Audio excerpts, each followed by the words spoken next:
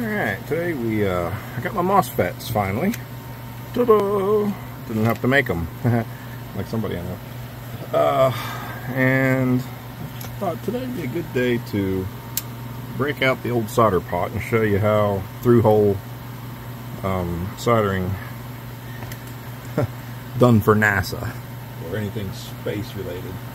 Uh, when life depends on it, this is the way you should do it you take your component, okay, first thing I'm going to do is clean it.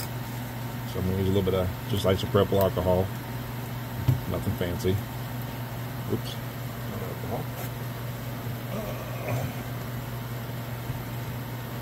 Alright, isopropyl, clean that up. I'm just going to clean the leads with some alcohol.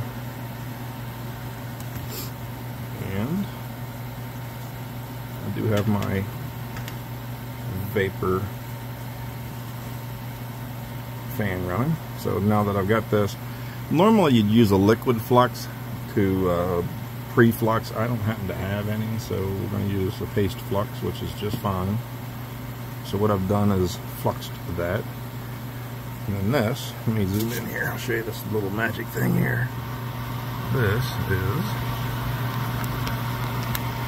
a neat little thing that we use on a much larger scale, but right there. Let's go over here and do it. Okay. Alright. What this is, it's an actual pot that has molten solder in it. And this basically cleans it now what I'm going to do is what we call tin these leads. So right now they're just factory oxidized from manufacturing. And ta-da! And that's it. Now they've got a thin layer of solder on them all the way around.